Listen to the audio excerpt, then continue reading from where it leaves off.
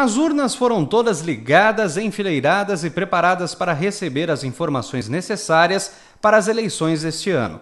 A etapa desse final de semana é uma das mais importantes. São nos próximos três dias que serão inseridos os cartões que contêm as informações dos candidatos. Procedimento previsto pela resolução do TSE, né, que tem o cronograma fixado para todas as zonas aqui de Minas Gerais nesse período de 26 a 30 de setembro, onde a gente faz a carga das urnas e a inserção dos dados oficiais e elas já ficam prontas para o dia da eleição. Toda a programação é feita com acompanhamento do juiz eleitoral, que libera o sistema para a programação.